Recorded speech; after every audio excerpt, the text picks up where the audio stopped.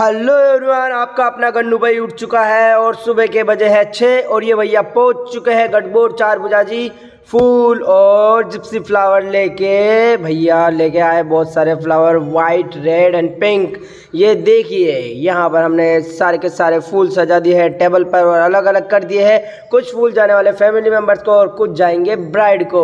ये white bouquet भी आ चुके हैं। यहाँ पर हमने यहाँ पर फूल लिए और हम जाने वाले हैं लिफ्ट में। लिफ्ट में पहुँच हम ढूंढते हैं यहाँ पर फैमिली मेंबर को। फिर भैया से पूछते हैं, बोले, वन ज़ीरो वन में जाइए, वहाँ पर आप आपको मिलेगा फैमिली मेंबर का और मेकअप आर्टिस्ट का रूम वहाँ पर जाइए, फटाफट से जाइए, अभी गाड़ी निकल जाएगी भैया।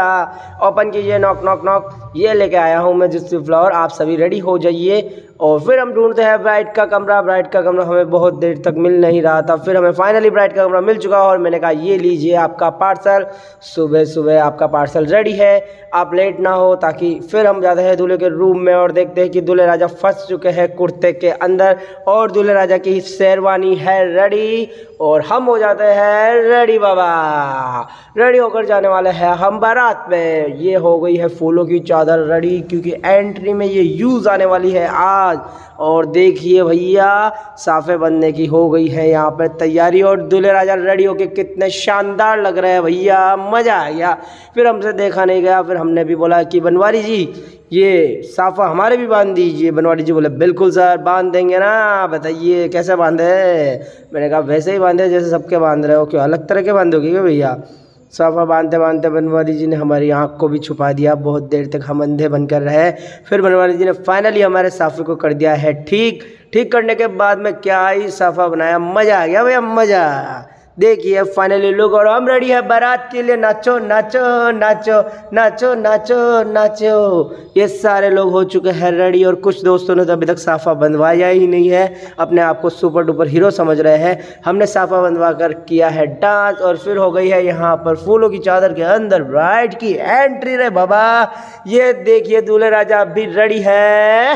हाथों में एक खूबसूरत सा गुलदस्ता लेके और दोनों नन्हे मुन्ने बच्चों के साथ में ये करते हैं ब्राइड का वेलकम और ब्राइड ने डांस की है एंट्री ओहो हो, क्या ही जोड़ी है दोनों की, रब ने बना दी जोड़ी। राम मिलाए जोड़ी। क्या क्या बोलूँ भैया, शब्द ख़त्म हो जाएँगे इन दोनों के लिए तो। फाइनली देखते हैं, हम पहुँच चुके हैं फेरों के अंदर, यहाँ पर दोनों वर वधु बैठ चुके हैं और आनंद उठाते हुए फेरों का फिर हम करते हैं रिकॉर्ड रिकॉर्ड करके जाते हैं। फिर देखते हैं कि बाहर हो रही है बारिश। बारिश होने पर हमने सोचा कि गढ़गौर चार भुजा के दर्शन कर लिए जाए। बारिश में भागते भागते हम पहुँचते हैं श्री गढ़गौर चार भुजा धाम। वहाँ पर हम बोलते हैं, बोलो श्री चार भुजा नाथ की जय। यहाँ देखते हैं, पहले से ही हमारे कुछ मित्र यहाँ पर आ चुके हैं। हाथ मिलाते और हम उनसे चर्चा करते हैं। चर्चा करने के बाद में हम सीधा चढ़ते हैं सीढ़ियाँ और पहुँच जाते हैं चार भुजा नाथ के दर्शन के लिए। फिर हम लगाने वाले हैं परिक्रमा, क्योंकि एक परिक्रमा करते नहीं है हमेशा तो दो परिक्रमा करनी चाहिए। ये हमारी धर्म पत्नी ने हमें सिखाया है। ना जाने, मुझे पता नहीं था, ऐसा भी कुछ होता है। फिर मैं बोलता हूँ, देखो, ऊपर तो देखो, ऊपर एक सोने का कलश भी है। उसको भी हम प्रणाम करते हुए फिर बढ़ते हैं, आगे फिर देखते हैं हम यहाँ पर बहुत सारी चीज़ें, क्योंकि बहुत पुराना मंदिर है, यहाँ पर देखने के लिए बहुत कुछ है। फिर हमने देखी यहाँ पर बहुत सारी मूर्तियाँ मूर्तियाँ देखने के बाद में हम चले गए ऊपर, यहाँ का नज़ारा देखा और बारिश के मौसम में यहाँ की जो हरियाली है ना, ओ वाह क्या सुंदर लगती है रे बाबा। फिर देखिए चार भुजानाथ जी का दर्शन और पूरा का पूरा मंदिर एक साथ में। ये है हेलीकॉप्टर पंखा। ये हेलीकॉप्टर पंखा लेके आया है नीता अंबानी का खोल कर यहाँ पर ला के लगा दिया गया। ये माता जी हमसे डिमांड करते कि आज हमें कुछ चाहिए आपसे भैया। हमारे बच्चों के लिए कुछ चाहिए। आप हमें दे के चले जाओगे, फिर जो हमारे बच्चे घर पर है ना भैया, उनका क्या होगा? तो मैंने कहा कि आपको क्या चाहिए? मैं आपकी क्या मदद कर सकता हूँ?